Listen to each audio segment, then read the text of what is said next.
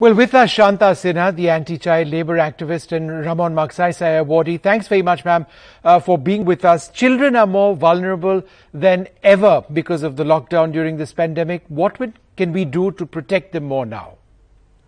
Uh, uh, let me start with what I think can be done at the local level. I've just been listening to the uh, AIF's uh, uh, initiative, and I think there are many, many NGOs who are working on the ground to face this challenge, one thing that they have all done is to work with the Gram Panchayat, is to work with the child protection committees, with the systems that are already there, but which just do not know what to do with children.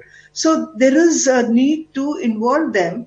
And what they have to do is take a roll call of all children in their area. This is what we are doing. I'm telling you this based on the experience that we've had uh, in during this pandemic a list of all the children between the ages of 0 to 18. And if you talk about child labor and children who've been trafficked, to have a, their names with the, uh, with the Gram Panchayat and doing a plan for each and every child in that area.